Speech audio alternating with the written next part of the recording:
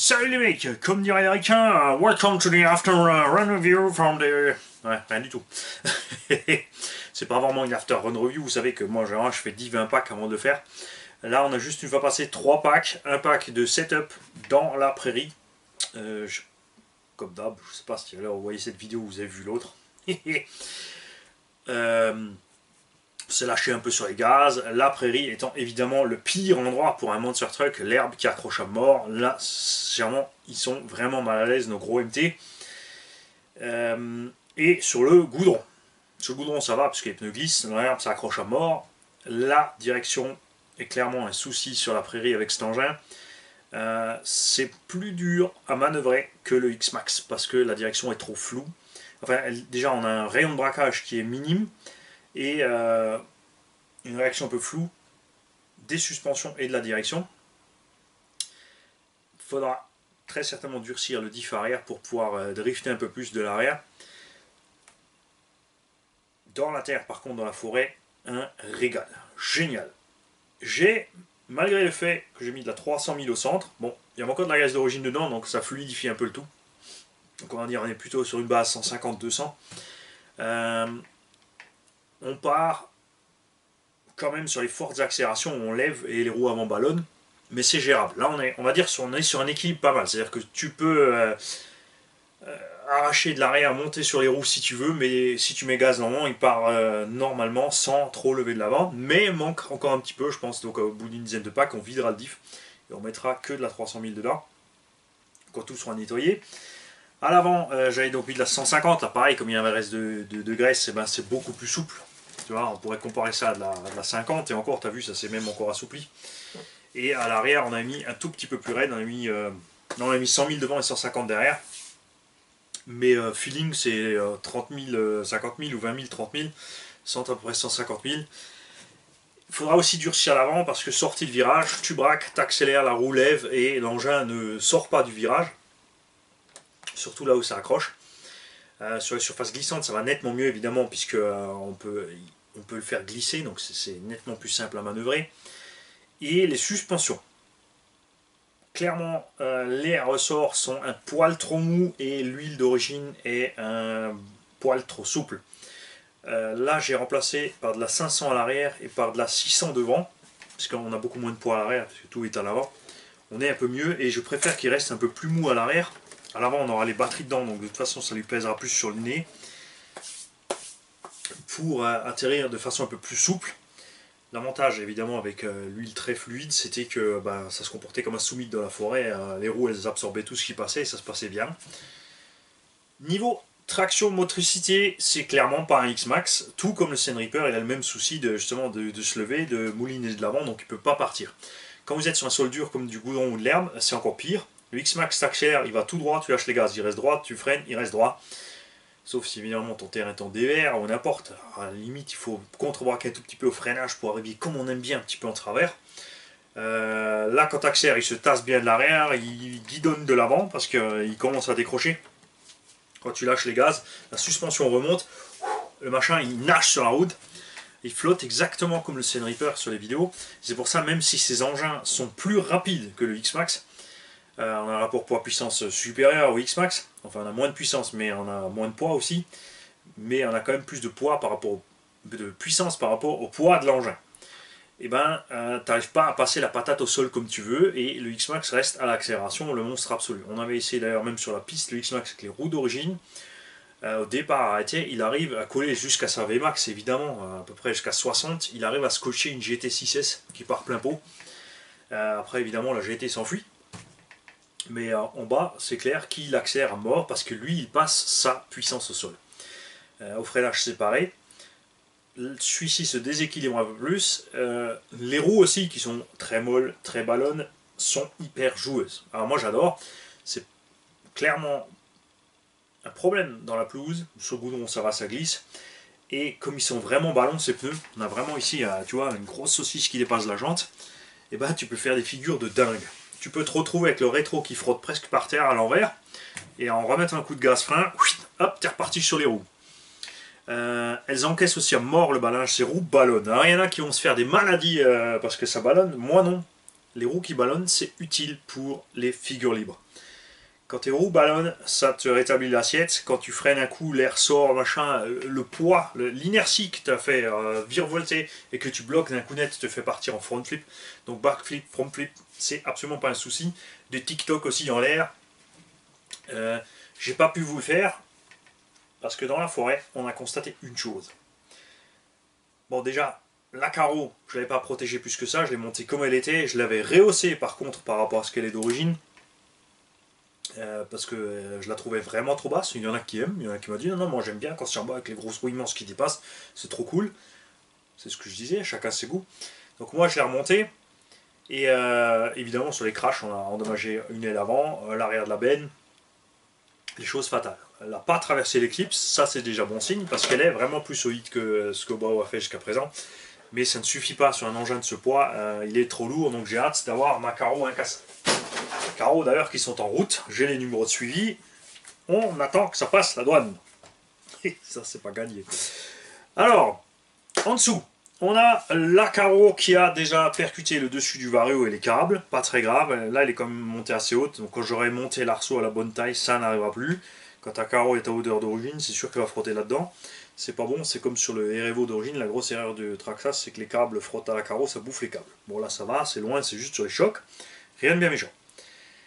Sur le test aussi à la prairie, on a forcé pour voir la chauffe, l'autonomie, on est arrivé à peu près 18 minutes avec du vitesse 5000, alors qu'on y allait vraiment fort, j'ai vraiment... J'ai fait ballonner ces pneus, je voulais voir s'ils tiennent, parce que euh, dans la vidéo, ils les font ballonner à mort. Euh, évidemment, avec la graisse dedans, euh, ça ballonne déjà là avec l'huile plus, épaisse, alors j'ose même pas imaginer avec la graisse d'origine, je suis content de ne pas être allé essayer l'engin avec la graisse d'origine, parce que ça doit être vraiment roulable. À la moindre axel, as l'avant qui lève, ça mouline dans le vide, ça ne sert à rien, t'avances pas. Donc moi je comprends pas, c'est pas du tout mon plaisir de conduite. Là ça va mieux, on durcira encore un petit peu le centre et on fera l'arrière euh, plus dur que l'avant aussi, mais on durcira quand même encore un petit chouïa à l'avant je pense. Donc les pneus, arrives à en faire des pizzas immenses, mais ils encaissent. À un moment j'étais sur le goudron, j'ai fait basculer exprès le véhicule pour qu'il soit sur trois roues et j'ai mis plein gaz. J'ai laissé cette roue encaisser toute la puissance. Bon, comme j'ai les huiles un peu plus épaisses, l'engin a commencé à accélérer, euh, ça a commencé à déballonner. Mais la roue n'a pas branché. Évidemment, le gang, lui, s'est planqué. Ils se sont dit, what, vache, il y a des morceaux qui vont voler. Euh, vaut mieux qu'on se mette à l'abri, on connaît l'animal. Et en fait, non. Déjà, c'est cool, ça veut dire que Mani, il a bien collé ses pneus. Tu vois?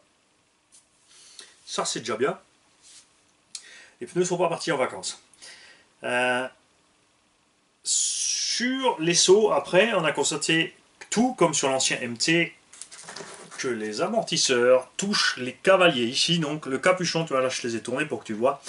On endommage ici les capuchons d'amortisseur. Enfin, on endommage, on fait une trace dedans. C'est pas beau esthétiquement, ça dérange pas plus que ça. Sur le vieux MT, euh,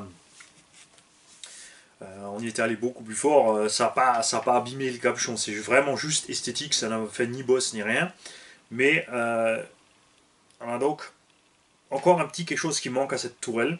C'est bien remis la plaque en alu devant, mais on a quand même toute la tourelle qui se plie en arrière et la morteau, le capuchon morteau qui va taper le pion. Ils ont eu la bonne idée de les sécuriser ce coup-ci, pour pas qu'ils se déclipsent. Ça c'est bien. La roulette ne sert pas à grand chose, malgré lui plus dur. Euh, ouais, il part toujours pas encore au winning. Enfin, faut le chercher pour partir. Faut vraiment y aller fort pour partir. Et après, comme la puissance fout le camp devant, c'est pas évident de le tenir, surtout que à cause de la taille des roulettes, tu ne peux plus changer l'ancrage. Moi, en général, je mets l'ancrage au plus haut, ce qui fait que le véhicule peut bien basculer sur sa roulette, et après, il est quasiment posé. Euh, là, tu es obligé de les mettre en bas, sinon tu frottes au pare-choc. Donc ça, c'est couillon. Ce qui fait que, en fait, là, dès que tu tapes, euh, bah, ça te renvoie à la caisse. Donc pour, euh, vraiment faire du wheelie, c'est pas évident, il faut le petit coup de main. Comme il a que l'huile plus dure, ça ira mieux, ça c'est certain. Bon, le combo, je suis content. J'ai 3000, 4000 tours minute de moins que le 2000 kV en 6S, euh, malgré que ce soit un combo 8S.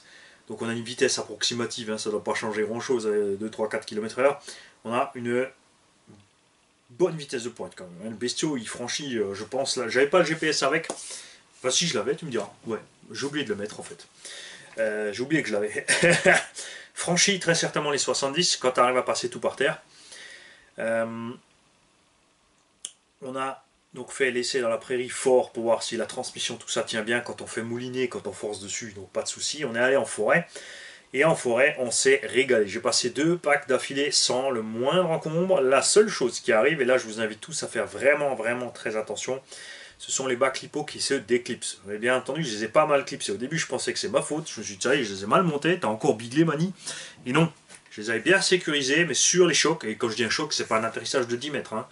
Je suis descendu dans l'ornière, j'ai décroché, je suis tombé un mètre plus bas.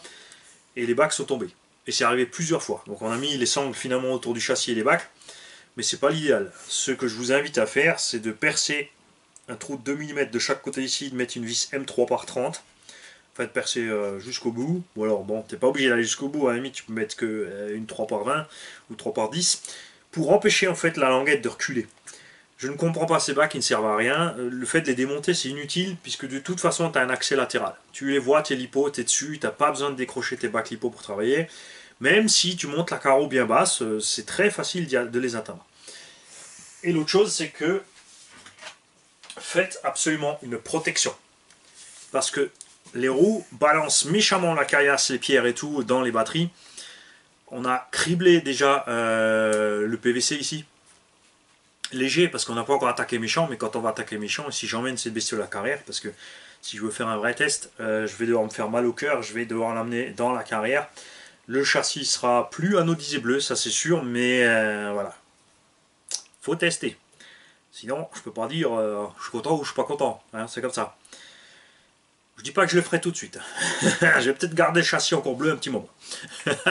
bon, c'est comme d'hab, on va attendre un gros crash et puis une fois qu'il sera craché, c'est bon pour. Donc protéger ces lipos parce qu'en plus la roue, quand vous la faites ballonner, euh, je suis sûr que vous allez réussir à la faire toucher ici le bac lipo. J'aurais préféré des bacs fermés sur le côté, ouverts en haut. Euh, moi, ça me dérange pas d'enlever ma carreau de façon entre les packs, de vite checker euh, si tout est bien serré, si tout est bien à sa place il y a 4 clips, ça va super vite, même s'il en faudrait, moi je trouve perso qu'il devrait des petits rails latéraux pour avoir, comme sur les 5 e 8 clips. Et euh, bien sûr ceux-ci qui montent bien sous le toit. Euh, ils sont géniaux parce qu'on a énormément de place dans ces bacs. Ça, faut leur laisser. Tu peux rentrer, comme je l'ai dit, 2 euh, fois 4S 8000 en parallèle, c'est pas un problème. ou en série, ou 2 fois, 2 fois 6S en parallèle, ça pose pas de soucis. Faudra juste faire gaffe à la suspecte. Moi, je roule avec des batteries encore légères. Comme dit, je suis à peine 200-300 grammes plus lourd que le setup en 6S. Si tu as des grosses batteries pour avoir une bonne autonomie en 6S, tu seras tout aussi lourd.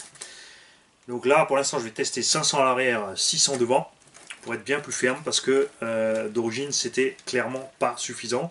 Ce qui m'a permis aussi d'enlever un peu de pré-contrainte sur les ressorts.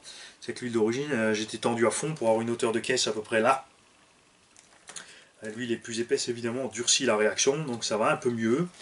Et on verra aussi si ça tangue moins. Ce que j'adore sur cette caisse toujours, c'est la réaction dans les suspensions.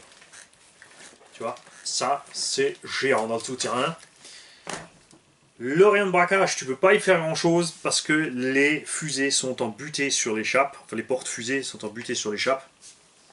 Je rappelle que la fusée est en fait la tête du cardan. Ça a bien une forme de fusée que le porte-fusée, on appelle ça aussi le moyeu, c'est là où sont les roulements et où est posée la fusée dedans. Et si c'est le cas, parce que tu as évidemment des porte-fusées ou moyeux sur rotule, donc c'est directement, il n'y a que cette pièce.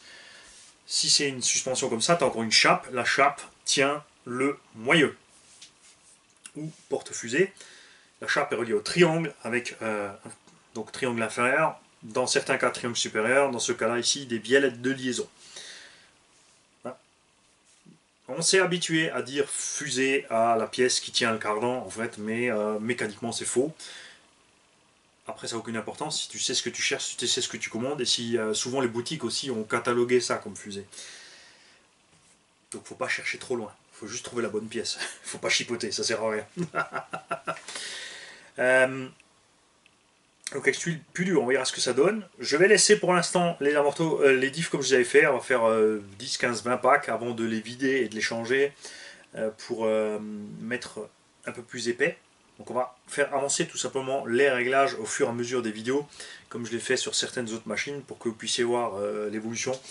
il y aura encore d'ailleurs une prochaine évolution sur le petit Toyato là-bas. il va aussi euh, être un petit peu upgradé, vous le verrez. Comme ça, vous verrez chaque étape, vous verrez les incidences et euh, ce que ça fait sur les machines. Je, je crois rien oublier, si. Je vais tous vous rassurer, parce qu'il y en a certains qui s'affolent, hein, qui ruent dans les brancards. Euh, pas de panique. Moi, Mani, j'ai l'autorisation de Obao pour faire toutes ces vidéos avant la date de sortie officielle. Et ouais, j'ai chopé la caisse. Pur hasard, honnêtement, je vous le dis. Euh, je suis pas le seul. Il y en a qui en ont chopé chez ORC, on sait pas qui c'est. Ils font pas de vidéos, c'est pas grave. Euh, moi, j'ai pas chopé chez ORC. C'est pur hasard en papotant avec un fournisseur. Et euh, donc j'ai mailé au BAO pour savoir si j'avais le droit de sortir les vidéos avant la date de sortie officielle. Évidemment, en fait, ils peuvent rien dire puisque je suis un privé qui a acheté la machine. La seule chose qu'ils peuvent faire, euh, c'est gronder le vilain qui me l'a laissé avant les autres. Mais s'ils ont déjà mis les machines à disposition, c'est pas pour rien. De toute façon, ils aiment bien quand il y a une petite fuite à droite à gauche, ça fait de la pub. Euh, donc j'ai quand même attendu qu'ils sortent leur propre teaser de running avant euh, de sortir les miennes. Et j'ai donc l'autorisation de la part de WoW de faire toutes ces vidéos. Et j'ai, euh, au moment où ils m'ont répondu, ça allait vite, hein, j'ai demandé, franchement ils m'ont répondu dans les 48 heures, j'ai profité de tout ça, puisque à ce moment j'avais déjà fait l'essai, oui j'ai déjà les images, mais oui mais vous les aurez pas tout de suite. Euh, donc je leur ai mis, à propos de ces bacs lipo qui se cassent la figure, euh, je pense que d'ici 2-3 euh, jours je devrais avoir une réponse, j'espère, sinon je vais les harceler un petit peu, parce que ça c'est franchement dégueu. je supporte pas ça, les lipos c'est cher et c'est dangereux. Si tes lipos se cassent la gueule et sont endommagés, t'arraches un câble, si ça endommage la plaquette de décharge ou autre, c'est foutu, c'est poubelle. Euh, surtout si tu as les nouvelles lipo, la Spectrum ou euh, Multiplex font ça aussi, avec une puce à l'intérieur de la, batterie. Si tu flingues la puce, c'est mort. Donc, c'est pas cool. Et dans le pire des cas, tu flambes la machine. Parce que là, je me suis quand même trouvé un moment avec le bac par terre et débranché, ça m'a arraché le câble. Enfin, ça m'a débranché la prise. Euh, c'est franchement pas cool. Donc, je vois pas l'intérêt de ce système. Il n'est pas pratique et il est inutile. Euh, ils vont pas le supprimer, mais ils vont peut-être faire eux-mêmes de série euh, ce que je vous dis de faire. Donc un petit trou ici M2, passer une M3 dedans. Oui, on fait du M2 dans le plastique parce que euh, le 3 va rentrer sans problème dans le plastique. Si tu perds ça 2,5, tu n'auras pas vraiment de prise dans le plastique. Pour empêcher tout simplement ces deux ergots ici, ces deux linguets sur les chocs de rentrer et la batterie de sortir. C'est en plus réversible, il suffit d'enlever les vis. Euh, on pourrait le faire même avec un clips honnêtement, euh, donc tu dégoupilles un clips pour dégoupiller le linguet, enfin bref, si tu veux toujours démonter tes bacs. Moi, j'ai pas envie. Euh, sur le terrain, on a trouvé une solution d'urgence. et donc, on est resté mollo sur les gaz. J'ai fait quelques sauts, quelques petites figures quand même. Je crois que j'ai rentré un backflip, j'ai rentré un petit front flip et deux trois trucs. Mais rien de méchant, parce que c'était vraiment pas cool. Je suis bien content par contre d'avoir monté mes skid plates. Ça aussi, j'ai oublié de leur dire, il faut que je leur écrive qu'ils nous fassent ça, euh, qu'ils nous fassent des pare-chocs complets avec les plates complets. Je vais aussi en mettre un là, parce que tu vois, j'ai déjà amoché les coins de mon châssis, juste en roulant en forêt. Hein. Donc je te laisse deviner ce qui va se passer dans une carrière. Aïe aïe aïe.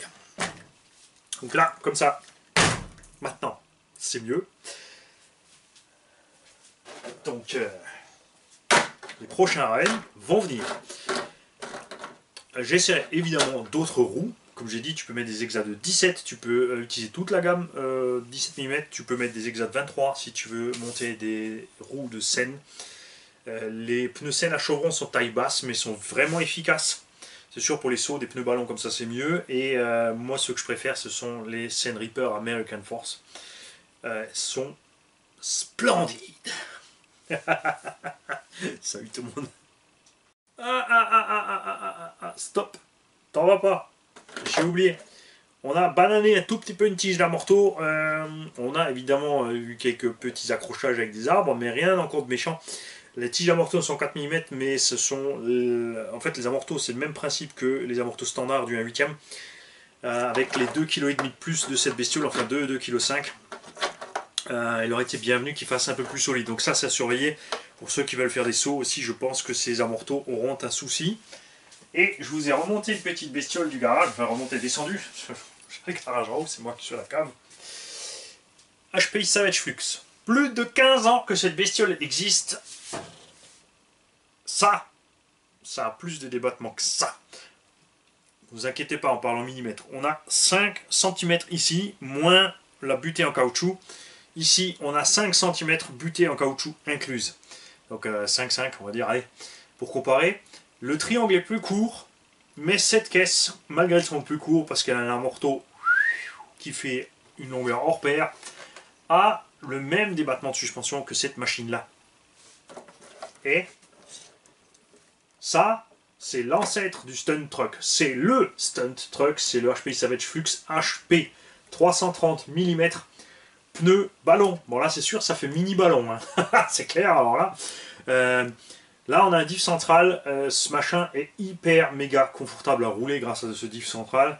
Euh, faut absolument que je vous fasse une vidéo de ce machin en 6S dans la forêt. Il y en a qui vont se faire peur et il y en a qui vont encore hurler. Parce que c'est juste infernal ce petit bestiau là. Est-ce qu'il a la même puissance embarquée que celui-là? Sauf qu'il fait que tout juste 5 kg et que l'anthrax pourtant, ça se maîtrise super bien, vous allez voir. Je vous souhaite donc à tous une belle journée, un bon appétit, une bonne soirée. On verra quand ça sort. Si ça sort. Peut-être je vais l'oublier, peut-être je vais l'effacer. On ne sait pas. Salut